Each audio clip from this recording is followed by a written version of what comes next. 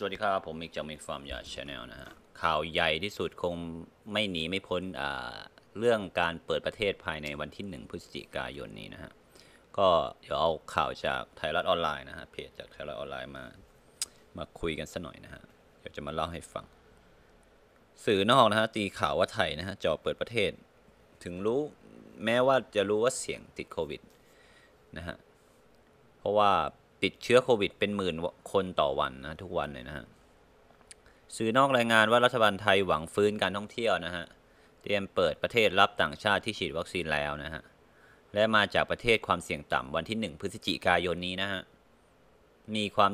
รู้ว่ามีความเสี่ยงนะฮะขณะที่ไทยยังพบผู้ติดเชื้อ 19 โควิด -19 รายใหม่แตะหลักหมื่นอยู่นะฮะ เมื่อวันที่ 12 ตุลานะฮะ สื่อต่างประเทศรวมทั้ง BBC และ The Guardian รายงานไปทั่วโลกนะ รายงานว่ารัฐบาลไทยเนี่ยจะเริ่มเปิดประเทศต้อนรับนักท่องเที่ยวต่างชาติ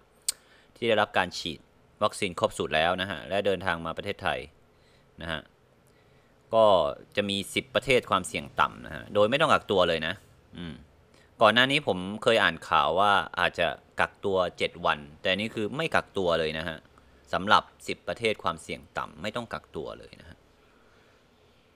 อืมในวันที่ 1 พฤศจิกายนนี้นะ อันนี้รายงานมาแล้วนะ BBC รายงานว่านายกประยุทธ์จันโอชาเนี่ยของไทยยอมรับว่าการตัดสินใจเช่นนี้ของรัฐบาลมาพร้อมกับความเสี่ยงบางประการเนาะ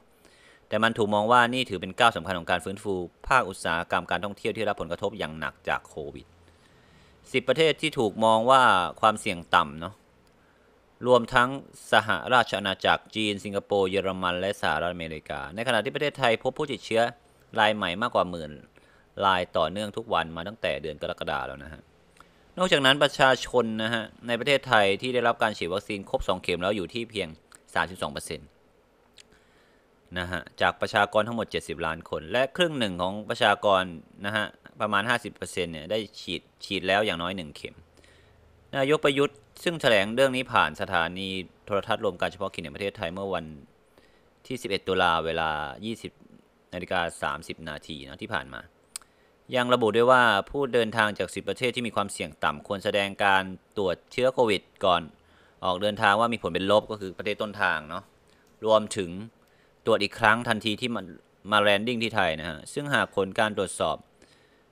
ทั้งสองครั้งเพราะว่าปลอดโควิดเนี่ยผู้ที่เดินทาง มาถึงไทยเหล่านี้อิสระฟรีเลยนะฮะ เดินทางทั่วประเทศไทยได้เลยนะฮะอย่างไรก็ตามนายกรัฐมนตรีประยุทธ์กล่าวเตือนว่าถ้าในสองสามเดือนหรือ4เดือนข้างหน้านี้ ก็คือคาบเกี่ยวถึงปีใหม่เราเนี่ยมีเชื้อโควิดสายพันธุ์ใหม่อันตรายมากๆเกิดขึ้นนะฮะรัฐบาลก็จะจัดการมาตรการที่เหมาะสมมาคุมสถานการณ์เอาไว้ให้ได้ ด้านเดอะการเดียนรายงานว่าพลเอกประยุทธ์เนี่ยได้เคยประกาศเมื่อต้นปีที่ผ่านมาว่า จะเริ่มเปิดประเทศนะฮะในเดือนตุลาและตั้งเป้าจะฉีดวัคซีนให้แก่ประชาชนให้ได้ 70%นะฮะขณะที่กระทรวงสาธารณสุขของไทยแถลงเมื่อวันจันทร์ที่ผ่านมาว่ามีประชาชนทั่วประเทศได้รับวัคซีนต้านโควิดนะฮะ เข็มแรกอยู่ที่ประมาณ 48%และได้เข็ม2ราว 30%เดอะการเดียนชี้ว่ากรุงเทพมีชื่อเสียงด้านการท่องเที่ยวนะฮะยามราตรีนะและยังคงอยู่ภายใต้มาตรการเคอร์ฟิวอยู่นะฮะเช่นเดียวกับผับบาร์ที่ยังถูกสั่งปิดอยู่ พลเอกประยุทธ์กล่าวว่าภายในวันหนึ่งหนึ่งหนึ่งธันวานะฮะอันนี้ก็คือข่าวใหญ่กันหนึ่งก็คือหนึ่งธันวานะฮะวันอีกวันหนึ่งที่เราจะต้องจดจำนะรัฐบาลไทยพิจารณาอนุมัติอนุญาตนะฮะให้ดื่มเครื่องดื่มแอลกอฮอล์ในร้านอาหารได้ และจะพิจารณาอนุญาตให้สถานพักผ่อนหย่อนใจอาบอบนวดอะไรผับบาร์เปิดให้บริการได้ภายใต้ มาตรการด้านสาธารณสุขที่เหมาะสม เพื่อสนับสนุนกระตุ้นการท่องเที่ยวนะฮะ และเดอะการ์เดียนะรายงานด้วยว่าเมื่อปีที่แล้วประเทศไทยได้สูญเสียรายได้ในอุตสาหกรรมการท่องเที่ยวไปประมาณ 50,000 ล้านดอลลาร์นะฮะหมื่นล้านดอลลาร์สหรัฐนะฮะและมีชาวต่างชาติ เดินทางเข้าไทยลดลงไปถึง 83%นะฮะอยู่ที่เหลือเพียง 6.7 ล้านคนนะจากสถิติ 2 ปีก่อนนะฮะซึ่งมีชาวต่างชาติเดินทางเข้าไทยตั้ง 2 ตัวนะเลข 2 ตัว 39.9 ล้านคนเลยนะในขณะที่ราชอาณาจักรไทยยังคง มีการตรวจพบผู้ติดเชื้อโควิดรายใหม่ราว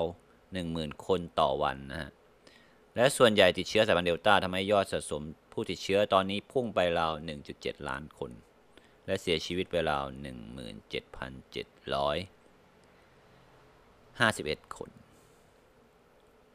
ขอบคุณที่ติดตามรับชมฮะ มีอะไรเดี๋ยวมาอัปเดต ก็กดติดตามกด subscribe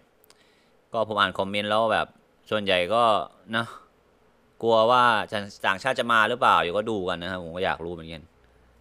แล้วเขาบอกว่าเข้ามาเนี่ยจะเอาเชื้อจากเราไปหรือเปล่าเขาอะกลัวเราเราไม่ได้กลัวต่างชาตินะตอนนี้คอมเมนต์ส่วนใหญ่จะเป็นในทางนั้นนะฮะไปแล้วครับ กดติดตามกด subscribe เราด้วยเพื่อเป็นกำลังใจให้ช่องของเรานะครับไปแล้วครับ สวัสดีครับ